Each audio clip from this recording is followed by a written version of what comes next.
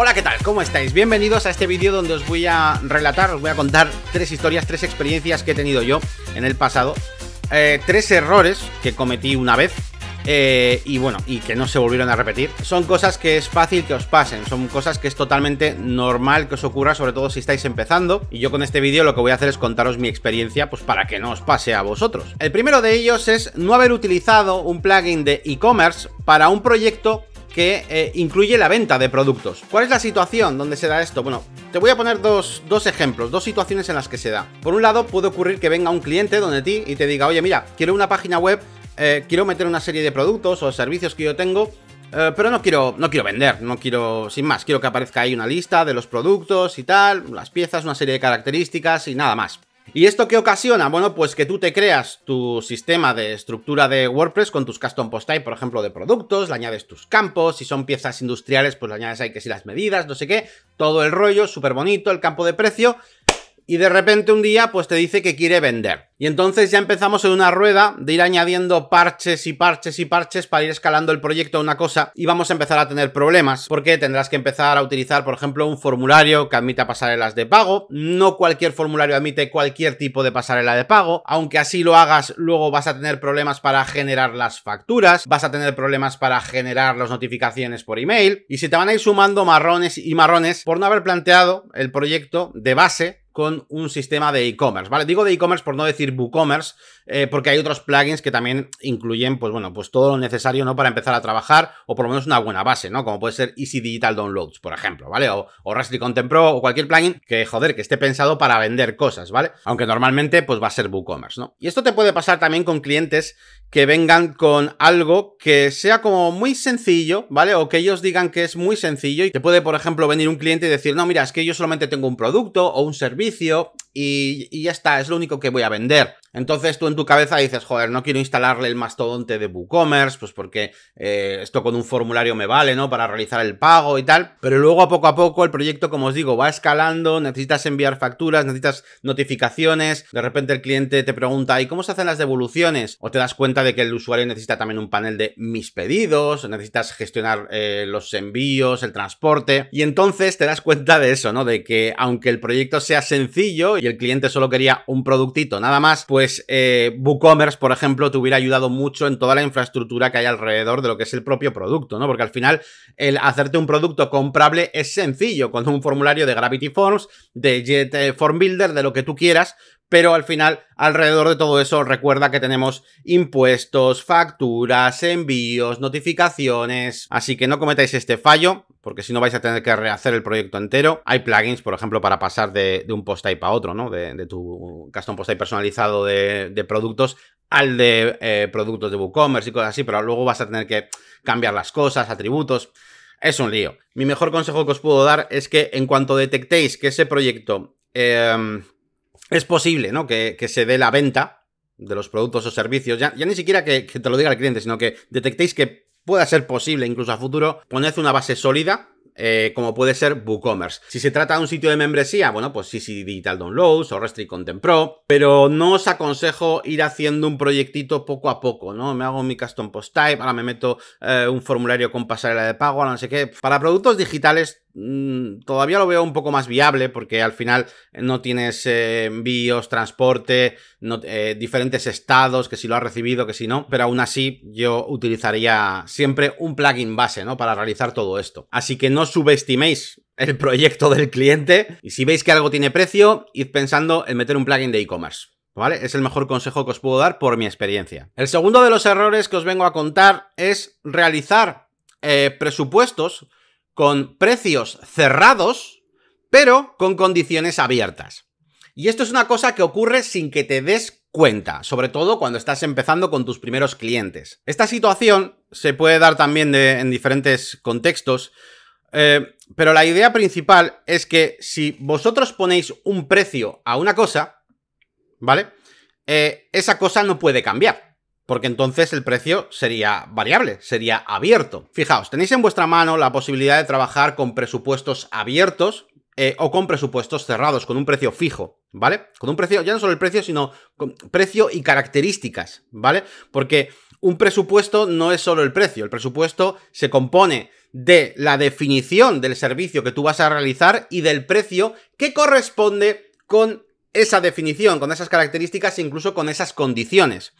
Si alguna de esas cosas es abierta, el precio no puede ser cerrado. ¿Cuándo se da esta situación? Bueno, pues tú imagínate que te viene un cliente y te pide pues un presupuesto para un proyecto y por lo que sea no consigues atar todas las características del proyecto. Te puede decir el cliente que quiere una tienda online, eh, que tendrá categorías eh, de productos, y tú haces un presupuesto que ponga pues tienda online y que tiene categorías de productos. Le pones un precio cerrado, X, 1500, y más tarde te das cuenta de que no has definido, por ejemplo, cuántas categorías de productos tienes que insertar, y de repente el cliente te dice que tienes que insertar 50.000, que por mucho que lo hagas importando desde una lista de Excel o lo que tú quieras, al final es un trabajo que no estaba planteado. Y te estoy poniendo un pequeño ejemplo con una de las características, pero vamos, esto es infinito. Puede que no hayas contemplado cuántos transportistas hay que poner, puede que no hayas contemplado eh, el hecho de tener que configurar muchos transportistas, pero por peso y dimensiones. Puede que no hayas contemplado el número de pasarelas de pago que quiere, puede que no hayas contemplado una personalización que necesita en el apartado mi cuenta. Y ahí vais a tener un problema, porque vuestro presupuesto tiene un precio cerrado, pero no unas características cerradas. Y las dos cosas tienen que ir unidas. Fíjate, tú puedes trabajar de dos maneras. Puedes trabajar con un presupuesto abierto y con un presupuesto cerrado. Con un presupuesto abierto todo es mucho mejor. Un presupuesto abierto puede ser por horas, por fases, en la que tú defines exactamente qué vas a realizar y a eso le pones un precio. Al hacerlo por fases es más fácil ir midiendo poco a poco lo que vas realizando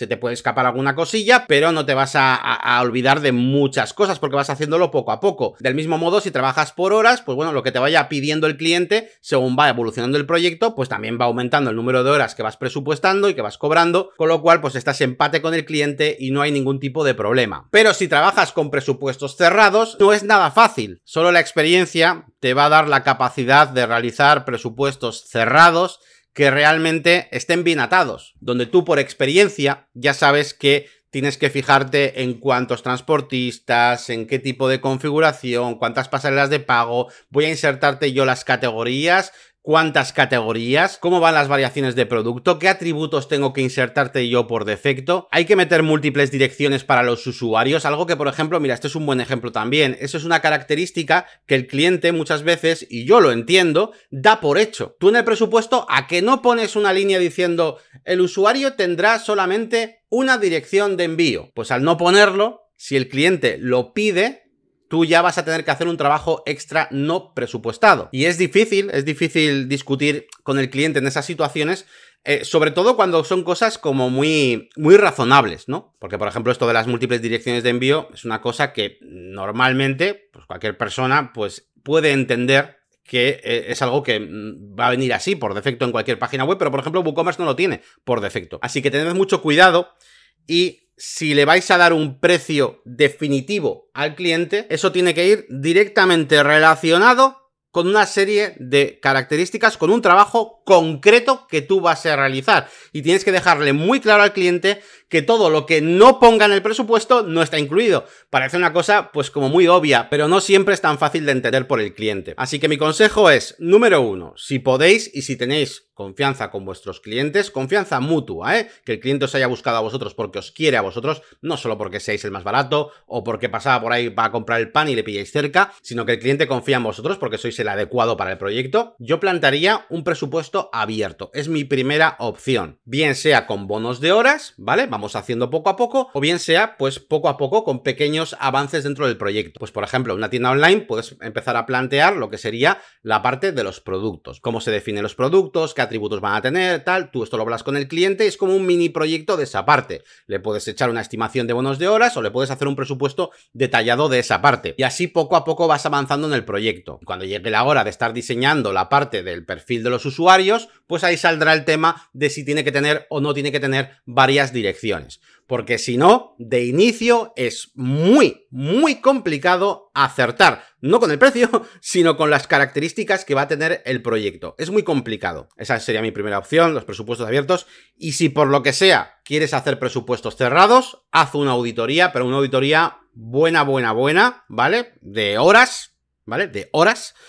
Auditoría que, por cierto, debéis cobrar. Ya lo he explicado en muchos vídeos por qué es tan importante la auditoría y de hecho el siguiente error va relacionado con esto. Y ahí definís muy bien cada cosa. Le dejáis muy claro al cliente que todo lo que no hayáis definido entre los dos en esas reuniones no está contemplado y por lo tanto no le has puesto un precio y por lo tanto no se lo puedes incluir. No, es que no tiene múltiples direcciones. Yo no sabía que iba a tener múltiples direcciones hasta ahora que me lo has dicho tú, con lo cual, como no lo sabía hasta ahora y el precio te lo puse hace un mes en el presupuesto, ese precio que te puse no incluye esto que me has dicho ahora. Es como muy lógico, pero vamos a intentar evitar enfrentamientos con el cliente, así que si hacéis presupuestos cerrados, meted ahí bien de horas en esa auditoría, que además ayuda mucho al cliente a entender que hay un trabajo previo y ayuda a entender que lo que no está en el presupuesto no está incluido, porque cuando no haces reuniones o no le dedicas mucho tiempo a la parte de auditoría, pues el cliente tiene que dar por supuesto muchas cosas. Pero cuando hay una fase como tal, una fase que, que, que, la cobras, que le das importancia, el cliente empieza a darle valor a esa fase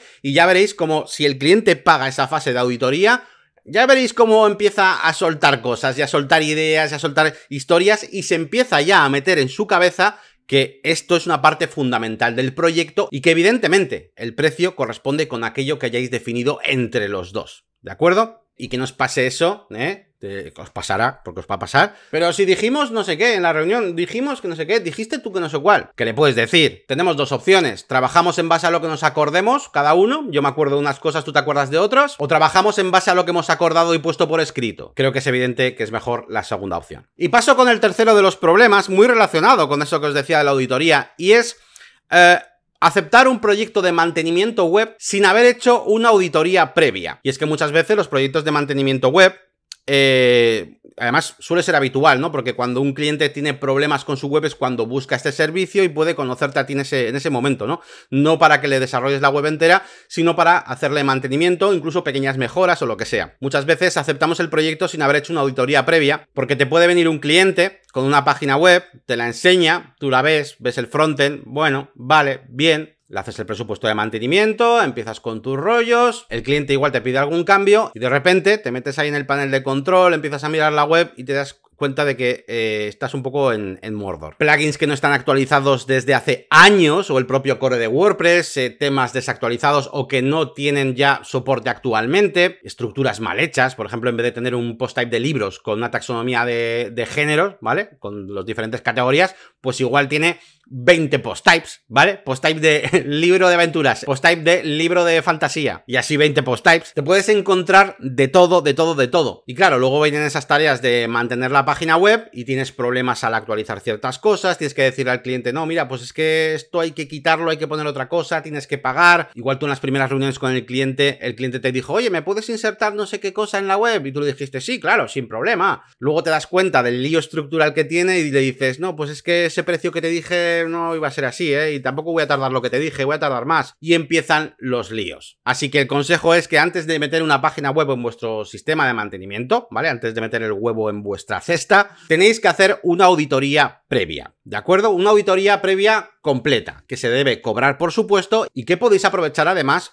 para eh, realizar o lanzar un presupuesto junto a esa auditoría. Es decir, te viene el cliente, oye, mira, tengo una página web y tal, y quiero que me la mantengas y hacer unos pequeños cambios, ¿eh? Que, tengo una web de libros, por ejemplo, y quiero añadir la opción de que, bueno, pues de que se puedan descargar también en formato PDF, yo qué sé. Tú le dices, vale, vamos a hacer primero una auditoría, ¿vale? Y de esa auditoría saldrá, primero, si hay que realizar alguna serie de tareas para que se pueda mantener esa página web, si la web está sana, por así decirlo, pues no, no tendrás que pagar nada para arreglar ese tipo de cosas y además será más fácil y será un precio más bajo realizar esas tareas nuevas que me, que me quieres pedir. Así que realizáis vuestro presupuesto de auditoría, esto sí que puede ser un presupuesto cerrado que tengáis pensado, pues lo que, lo que sea, oye, cuesta 50 euros, lo que sea. Le pedís los accesos al cliente, os la pasáis a vuestro servidor de pruebas y echáis un vistazo a todo lo que tiene y hacéis un informe de cómo está y hacéis un informe de cómo está y las tareas necesarias. De ahí te van a salir plugins que el cliente tiene que comprar porque no tiene la licencia, cosas que tenéis que actualizar. Si veis, por ejemplo, el core de WordPress muy desactualizado o plugins muy desactualizados, os recomiendo hacer una prueba y actualizarlos para ver hasta qué punto se rompe la página web, porque se va a romper. Ya os digo yo que se va a romper. Si la estructura de datos está mal, también tenéis que mirar cómo sería la mejor forma. Y con toda esa información hacéis un informe y le anexionáis un presupuesto de lo que costaría ponerla saludable, ¿vale? Ponerla al día para que puedas mantenerla y cuánto costaría esas tareas nuevas que te va a ir pidiendo. Y si por lo que sea, mira, tenéis una filosofía en la que no queréis cobrar esa auditoría, bueno, pues podéis hacer una auditoría un poquito más light, pero mínimo, por favor, gente, mínimo, instalaos esa web en vuestro servidor de pruebas, mirad el backend, mirad cómo están las cosas un poco por encima, a ver qué vais a meter dentro de vuestro sistema. Ya no te digo si encima lo metes dentro de tu servidor o dentro de Manage, si puede tener vulnerabilidades, virus vete a saber. Hay que mirar muy bien las cosas, pasarle el WordFence, pasarle lo que, la herramienta que os dé la gana, mirar su seguridad, mirar cómo está todo, y en ese punto le informáis al cliente. Y ahora que él decida, que él decida si quiere que lo hagáis vosotros, ese trámite de ponerla al día, o que si quiere irse a otra empresa. Por eso lo de cobrar la auditoría, porque es un trabajo que luego el cliente puede decidir no hacerlo y marcharse a otra empresa o decir, pues si mi página web tampoco la uso para tanto, si, voy a dejarla así. Y te has comido una investigación de 12 horas. Así que eso hay que cobrarlo. Bueno, pues nada más. Os dejo este pequeño vídeo de tres errores que no, que no quiero que cometáis, pero vamos, que tengo aquí errores para contaros, mm, vamos, miles. Así que bueno, si os parece interesante y os ayuda este tipo de, de contenidos, os traeré, os traeré alguno más. Muchísimas gracias a todos, como siempre. Un saludito. Hasta luego. Sube de nivel y apúntate a la máquina del branding.com. Selecciona las categorías que más te interesen y sigue aprendiendo con vídeos nuevos cada semana. Aprende diseño 3D, modelado, texturas, iluminación, escultura. ¡Qué bonito el perrico! Yo soy más de WordPress. Pues agárrate al asiento porque aquí tienes un curso de código WordPress. Aprende WordPress como Dios manda, diseña tu propio tema, crea consultas con VP Query y completa tu formación con lecciones de HTML y CSS, imprescindibles. Y si eres un paquete diseñando, tengo lo que necesitas. Un curso de diseño gráfico donde aprenderás a realizar todo tipo de Fotomontajes, retoque fotográfico, diseño de banners, diseño de logotipos. Y no hace falta decir que encontrarás también lecciones de WordPress orientadas a Oxygen, Jet Engine, Elementor. Además de todo esto podrás participar en los directos mensuales colaborativos y en el canal de Discord, hablando, debatiendo y ayudando junto a todos los miembros de la comunidad.